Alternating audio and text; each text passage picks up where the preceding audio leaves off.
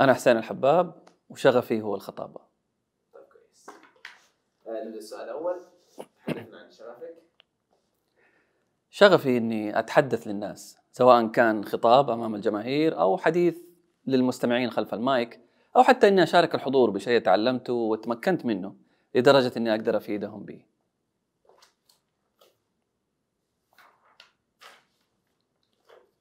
كيف اكتشفت شغفك؟ وكيف بدايته هذه شوية طويلة بس طيب. لو تيجي تقراه وحتى لو ما ضبط معك حط من عندك أوكي وخليه شوية كذا بشغف زيادة. بشغف زيادة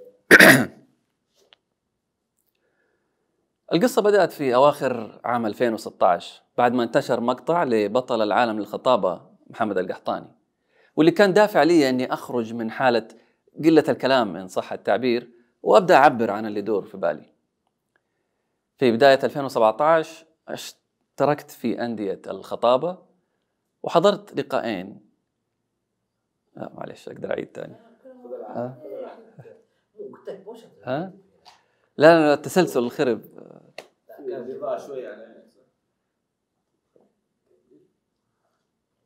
انت بس ترفع لي الورقة شوية على فوق. اي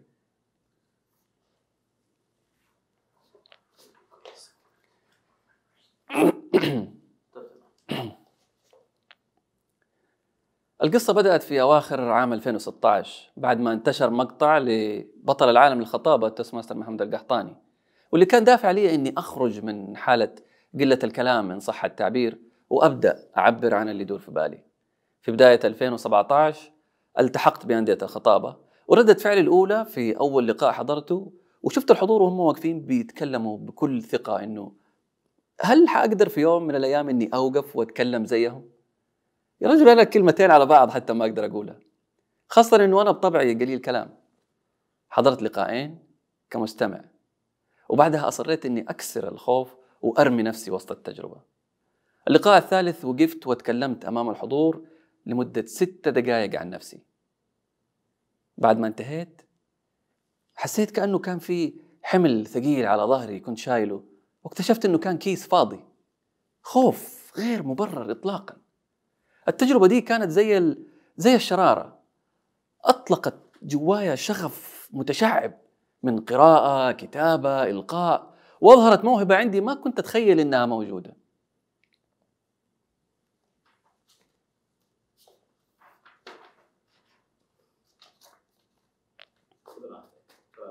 التعليم. أوكي. والحمد لله من بداية انضمامي لأندية الخطابة للآن قدمت 28 خطبة بمواضيع مختلفة وفي أندية مختلفة.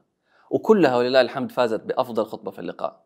وفي 2019 حصلت على لقب بطل القطاع 104 للخطابة على مستوى المملكة بالمركز الثاني في اللغة العربية والثالث في اللغة الإنجليزية. وفي آخر السنة حصلت على لقب ثاني العرب في مسابقة الخطابة بمملكة البحرين.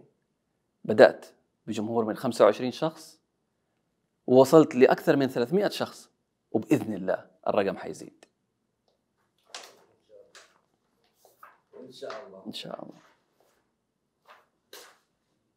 كيف من شغفك في كل لقاء كنت بقدم فيه خطبة كنت دائما أحرص على نقاط التحسين أكثر من ملاحظات المدح والإعجاب.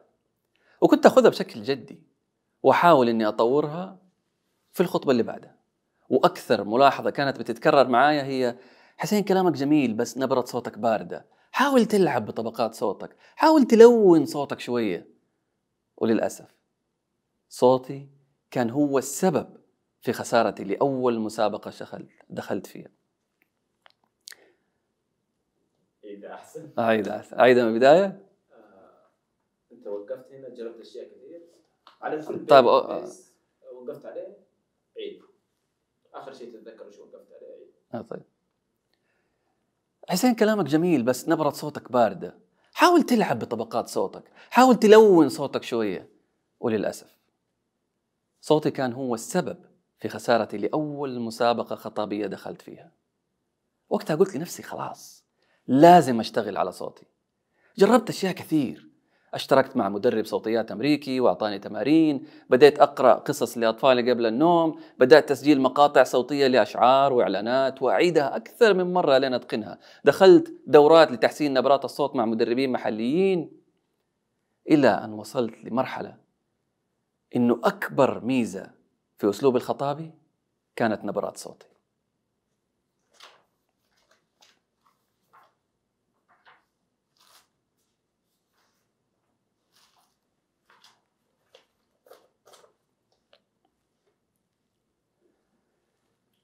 بسبب إني كنت في بيئة أتشارك معها نفس الاهتمام بالخطابة. بدأوا أصدقائي يسألوني كيف بتكتب وكيف بتتمرن وكيف بتلقي وكيف حسنت نبرات صوتك؟ فكنت في البداية بجاوب كل واحد على حدة. ده أفتكر أعطي له أربع ملاحظات ده أفتكر أعطي له ثلاثة وأنسى واحدة وهذا ما يسعفني الوقت أعطي له كل الملاحظات اللي عندي. فبديت أقدم ورش تدريبية داخل نطاق الأندية والأشخاص المحيطين. متعلقة بكتابة المحتوى الإلقاء الخطابي تحسين نبرات الصوت وغيرها. لكن مع هذا كله برضو كنت أحس أني ما قدرت أرد الجميل لهذا المجتمع المحفز والبيئة الإيجابية وأعطيهم الشيء اللي تعلمته بالكامل. هنا جات فكرة أني أنتج حلقات بودكاست صوتي بالشيء اللي تعلمته في مشوار الخطابي وأشاركها مع أصدقائي.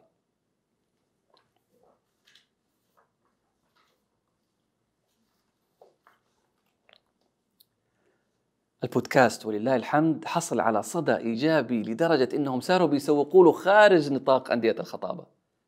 عدد الاستماعات المتزايدة والتعليقات الإيجابية والأشخاص اللي صاروا كل ما يقابلوني بيسألوني متى الحلقة الجديدة تراك طولت علينا.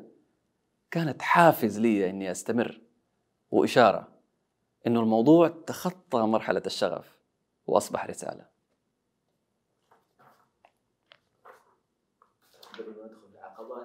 كلمنا أكثر عن البودكاست. البودكاست هذا متخصص في كل ما يتعلق بالإلقاء والخطابة والتواصل البشري بين الناس. مثلا من المواضيع كيف تعد خطبة كيف تكون خطيب ناجح كيف توظف لغة جسدك كيف تكون محاور وتخلي الحوار مستمر كيف آه، مثلا سويت لقاء مع عادل برباع على موضوع نبرات الصوت آه، الإقناع. ولسه كمان إن شاء الله في حلقات كثير بعد العقبات اللي واجهتك في الطريق كيف تخطيتها؟ رحلتي سواء كانت تتعلق بالخطابة أو الورش التدريبية أو التعليق الصوتي أو حتى البودكاست مليانة عقبات. أولها وأكبرها هو عامل الوقت. أنا موظف ورب أسرة. وموضوع أني أحصل وقت لنفسي جدا صعب. فما بالك أني بدل ما أرتاح وأسلي نفسي في وقت راحتي أشتغل في الاهتمامات اللي تتطلب مجهود هي كمان. أندية الخطابة والورش التدريبية لقاءاتها تأخذ وقت طويل في التحضير والتنفيذ. والتسجيل الصوتي يحتاج تمرين كثير. يتطلب إني أستنى لين الأولاد يناموا ويهدى البيت عشان أقدر أسجل ويكون وقتها أنا تعبت وجاء وقت نومي كمان. لكن الحمد لله بمساعدة زوجتي قدرت إني أوفق بين واجباتي وبين شغفي.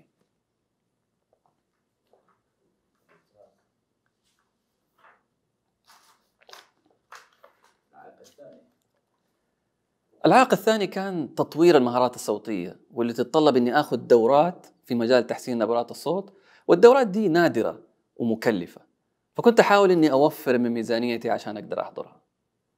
العائق الثالث كان متعلق بمسابقات الخطابة بالتحديد وهي إنك بتبذل كل جهدك في التمرين وتطلع من المسابقة خاسر.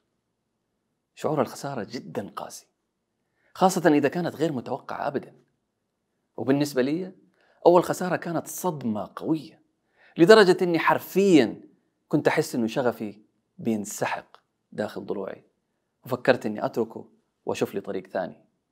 لكن برضه ولله الحمد بدعم الوالدين وبوقفة زوجتي معايا قدرت أرجع أقوى من أول.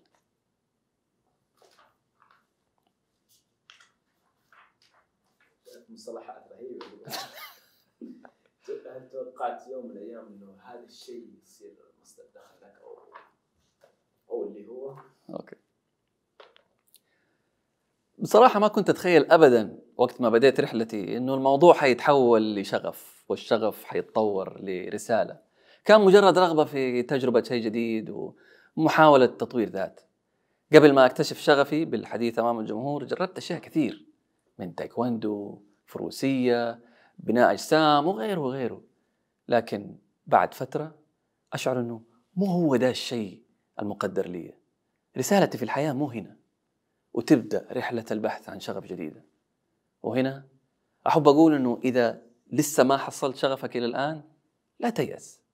وجرب أكثر من شيء. ولا تخلي باب تجربة إلا وتدقه وفي يوم من الأيام حتلاقي باب ينفتح لك. وتحصل شغفك مستنيك.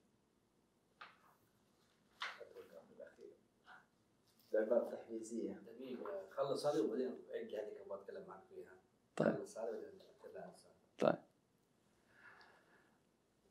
أول شيء تسويه إذا حصلت شغفك إنك تحمد ربك وتشكره لأنك اكتشفت الرزق اللي ربنا سخرك ليه.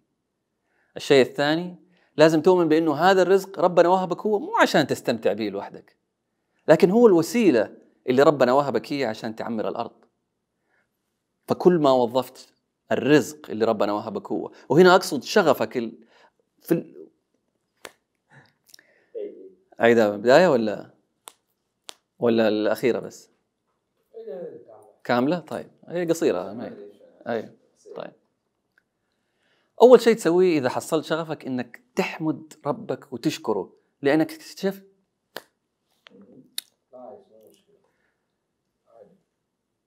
أول شيء تسويه إذا حصلت شغفك إنك تحمد ربك وتشكره لأنك اكتشفت الرزق اللي ربنا سخرك ليه.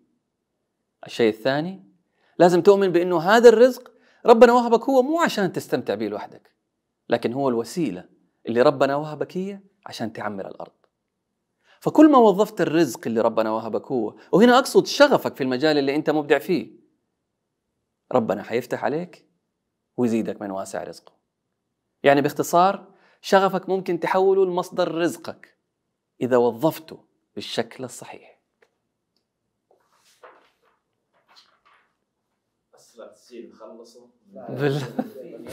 ها؟ أعيد شيء ولا خلاص؟ آه، بالله رجع الورقه هذه الثانية اللي كانت قبل الأخيرة. قبل الأخيرة.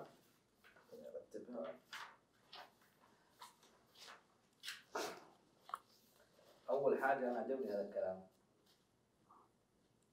هذه أت- أفكر أنا نخليها آه، في برومو.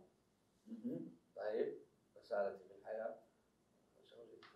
يعني كأنه عنوان في كأنه عنوان ل لبرامج شغف يعني هذا عليه شغف أي ممكن. كلام تنفع. مرة حلو. الله يسعدك يا رب. صراحة. لكن آه اتكلمت أنت عن أشياء. أول حاجة أنا أسألك عن البودكاست هذا. أنت أي ليش متخصص في ألسن أنا بسمه في لسن لسن. لسن. كلمة عربية فصحى معناتها من يجيد التحدث والإقناع. زي لما يقول لك واحد ملسون إيه. لسانه طلق يعني. يعني أنت في هذا المجال ولا تكون مفتوح لا أنا مركز في هذا الموضوع يعني. في في بودكاستات كثير كذا متنوعة بتتكلم في كل شيء. لكن أنا رأيي يعني ركز في شيء وحاول تبدع فيه يعني. ما دام إنه خلاص لقيت شغفك هنا ركز فيه و- عشان تقدر يعني توصل فيه لمستوى عالي. ممكن توصل لمرحلة إنه أنت المرجع في هذا المجال مثلا. أنت يعني أنت حابب الستايل أو الموضوع هذا؟ أنا حاب الموضوع ده. هذا أي. شخصية. أي. يعني ما تحب تكون مقدم برنامج مقدم بودكاست؟ عادي ثقافي حواري إلى آخره. إذا في هذا ال- في هذا الإطار لا ما حيكون صعب هذا أي. أو okay okay. ال- الآن الإطار واسع ترى اللي هو موضوع التواصل البشري يعني. هذا موضوع واسع. اي معقولة كذا اي نتكلم عن الإقناع نتكلم كيف تفتح حوار كيف تقفل الحوار كيف تتعامل مع شخصية آه، مثلا في, في, في نقاشها مزاجي ولا صعب في كلامه. هذه كلها مواضيع مفتوحة يعني ممكن تنضاف في في البودكاست. أتوقع إنها جيدة. طيب. الحين تكلمت ما شاء الله شفت تكلمت هنا عن الرياضة وتايكوندو انك جربت قبلها. أي. آه، في كمان في وريني في امهات كمان. أشياء كثير ترى بس أنا اختصرتها يعني. هو صراحة كلامك كان مرتب ومنظم عرفت؟ عشان كذا ما ادري لما جينا نقدر نحاورك نطلع لك بأسئلة. آه، كلمتك الأخيرة قلت للشباب صح؟ رسمتها أي اللي هي رسالة. رسالة تحفيزية يعني. تحفيزية هذه أي حاجة لخبطه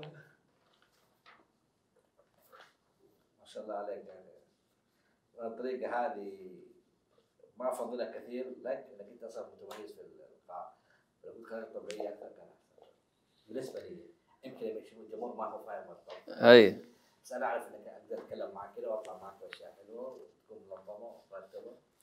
أنا أشوف كذا أنت اخترت هذا الطريق لكن إن شاء الله الجمهور بيحسن لك إن شاء الله ما يحس إن شاء الله ما يكون الكلام معك حيكون أجمل. طيب خططك المستقبلية في المجال هذا ما تكلم فيها ترى. إيش هي؟ خططك آه لا ما كان في حتى سؤال في هذا الموضوع يعني. اي okay؟ طيب. إيش عندك خطط حاليا؟ okay أنت الحين شغفك بدا ينمو إيش خططك يا حبيبنا لهذا؟ خطة الخطة المستقبلية لهذا المجال. آه طيب. طيب.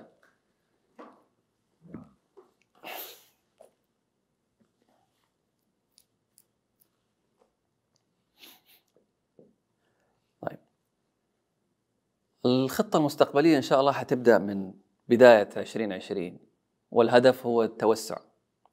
أنا بديت ببودكاست وشوية ورش تدريبية. الآن إن شاء الله حوسع الموضوع أكثر. حندخل على اليوتيوب حنوسع موضوع الدورة حتصير في دورات تدريبية في هذا المجال. حندخل في قنوات التواصل الاجتماعي الأخرى من إنستغرام من تويتر من فيسبوك وحيكون في لقاءات أكبر مع متميزين في ما يخص مجال الإلقاء أو التواصل البشري بين الناس. يعني بإذن الله حيكون شبكة وليست مجرد بودكاست. حلو هذا الجواب هذا؟ هذا الجواب؟